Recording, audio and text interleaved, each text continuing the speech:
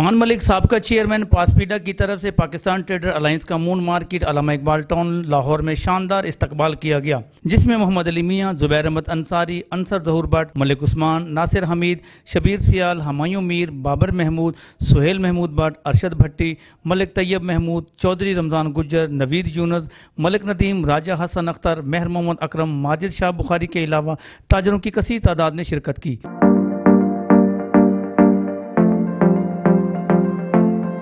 اس موقع پر گفتگو کرتے ہوئے مقررین نے کہا بسم اللہ الرحمن الرحیم، آج علامہ اقبال ٹاؤن کی جو مارکیٹس ہیں انہوں نے اور آٹو پارک کے تاجدار نے یہاں پر ریسیپشن دیا تھا، الحمدللہ۔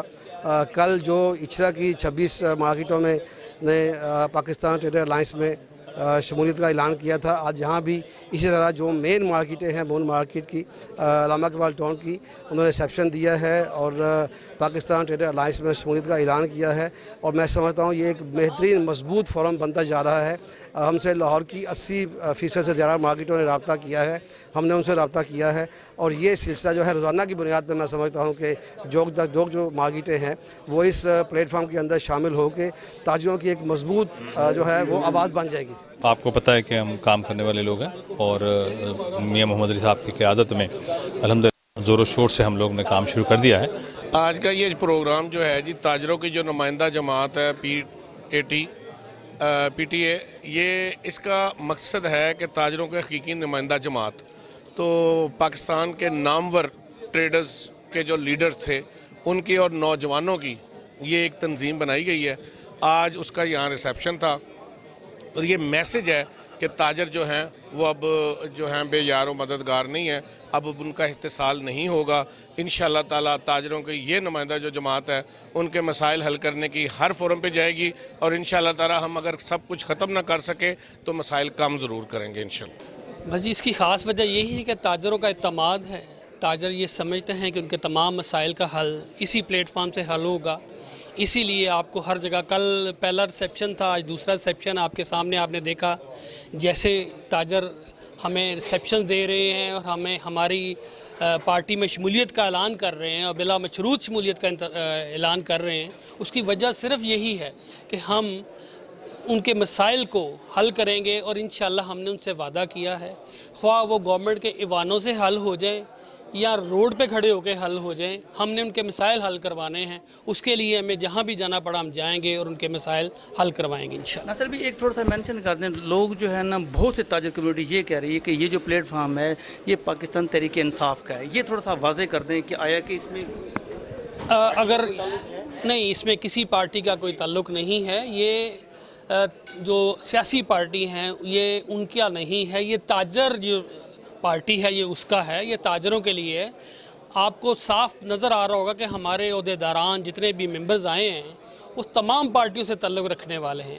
ان کی ذاتی سیاست سے جہاں بھی تعلق ہو، لیکن ہمارے پلیٹ فارم پہ وہ ہمارے ساتھ کھڑے ہیں۔ ہمارے ساتھ در بدر جہاں بھی جانا پڑے گا، ہم جائیں گے، وہ بھی چلیں گے، ہم بھی چلیں گے ان کے ساتھ۔ اور تاجر برادری جو ہے، ان کے جو مسائل ہیں، ان کا حل کرنا ہمارا مقصد ہے۔ کسی سیاسی پارٹی کو پرموٹ کرنا نہیں ہے۔ دیکھیں جی یہ ماشاءاللہ جب سے پاکستان ٹریڈر الائنس کی تنظیم بنی ہے اور روزانہ ہمارا کوئی نہ کوئی ایونٹ ہو رہا ہے اور یہ اصل میں تنظیم کا جو ایجنڈا ہمارا ہے، بیسک ایجنڈا وہ یہ ہے کہ تاجر بہت بری طرح تقسیم ہو چکی ہے۔ جیسا کہ آپ کو پتا کہ پاکستان میں بزنس کمیونٹی کے مسائل بہت زیادہ ہیں۔ تو تاجر برادری کے جتنے بھی پلیٹ فارمز بنتے ہیں، ان کی کوشش یہی ہوتی ہے کہ تاجروں کے مسائل کو دن رات حل کروانے کی کوشش کی جائے اور تاجروں کے مسائل کو خالی اقتدار کے ایوانوں تک لے جایا نہ جائے۔ ان کا سلوشن بھی ساتھ بتایا جائے کہ اس طریقے سے نئی جو گورنمنٹ ہے وہ تاجروں کو ریلیف دے سکتی ہے۔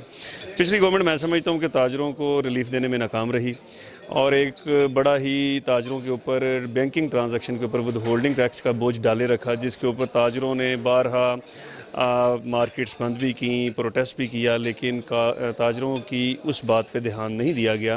اور جس کا میں سمجھتا ہوں دو ہزار اٹھارہ کے الیکشن میں تاجروں نے اپنے اس گریوینسز کا اظہار بھی کیا اور پچھلی گورنمنٹ کو ووٹ نہیں نہیں ڈالیں اگر یہ جو موجودہ گورنمنٹ ہے تاجروں کے مسائل کو حل نہیں کرے گی، تو پانچ سال کے بعد تاجر بھی اس گورنمنٹ کے ساتھ نہیں ہوں گے۔ تاجروں کو تو بیسک جو ان کے مسائل ہیں ان کا حل چاہیے۔ اور میں سمجھتا ہوں کہ خاص طور پہ پاکستان کی جس طرح معیشت سلو جا رہی ہے، نئی گورنمنٹ کے آنے کے بعد پانچ چھ سات ماہ گزر گئے ہیں اور جس طرح سے لوگ چاہ رہے تھے کہ یہ معیشت کا پہیہ گھومے گا۔